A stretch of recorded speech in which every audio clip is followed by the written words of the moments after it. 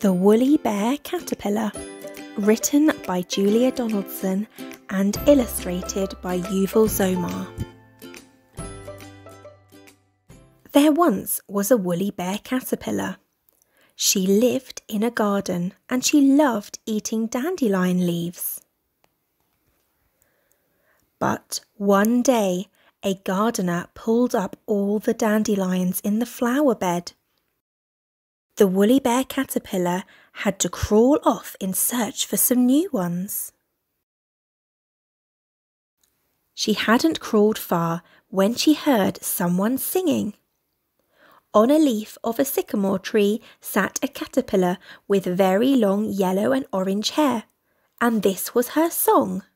Look at me, look at me, I'm bonny and bright as can be. With my hair of bright gold, I'm a joy to behold, the queen of the sycamore tree.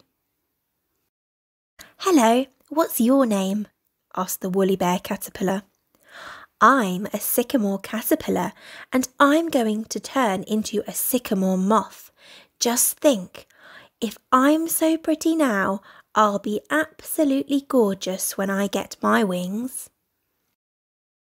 I'm going to have wings too one day, said the woolly bear caterpillar. The sycamore caterpillar laughed. yes, very plain ones, I expect. Never mind, we can't all be beautiful. The woolly bear caterpillar crawled on till she reached an apple tree. On a fallen apple sat a caterpillar with red spots and bright yellow tufts. He was singing this song. Look at me, look at me, I'm stunning and smart as can be. With my tufts of bright yellow, I'm such a fine fellow, the king of the old apple tree. Hello, what's your name? asked the woolly bear caterpillar. I'm a vapour caterpillar. I'm good looking, aren't I? And I'll be even more handsome when I'm a moth. I'll be a moth too one day, said the woolly bear caterpillar. The vapour caterpillar laughed. Yes, a very dull one, I imagine. Never mind, we can't all be colourful. The woolly bear caterpillar crawled on till she came to a tall poplar tree. On a twig was a very strange looking caterpillar. He was bright green, and round his head were some red marks that made it look as if he was screaming. He was singing this song. Look at me, look at me, I'm stunning and strange as can be. The marks round my head are a fierce fiery red. I'm the king of the tall poplar tree. Hello, What's your name? asked the woolly bear caterpillar. I'm the puss moth caterpillar. Don't I look weird and wonderful? And I'm so unusual now. Just think how extraordinary I'll be when I become a moth. I wonder what sort of moth I'll become, said the woolly bear caterpillar. The puss moth caterpillar laughed. A very boring one, I should think, he said. Never mind, we can't all be perfect. The woolly bear caterpillar felt a little sad. She wished she could be beautiful and exciting instead of plain and dull. But then, at last, she found some dandelion leaves, which cheered her up.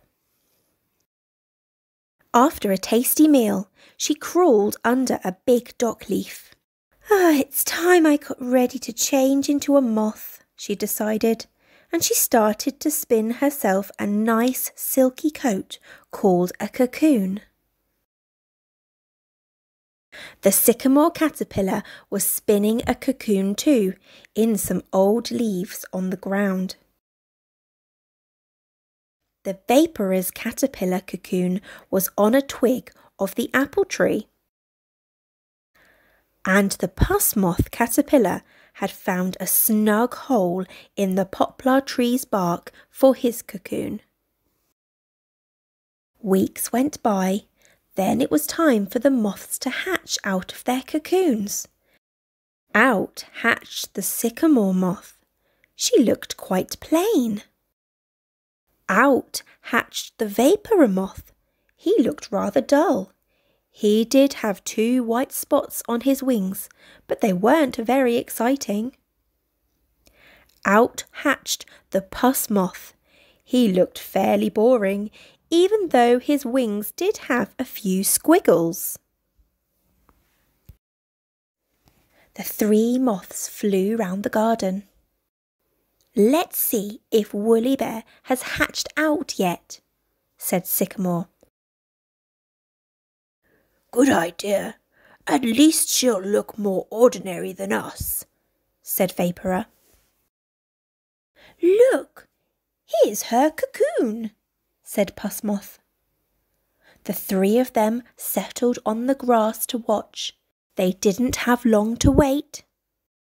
The cocoon had split open and out hatched a lovely orange, black, and white moth.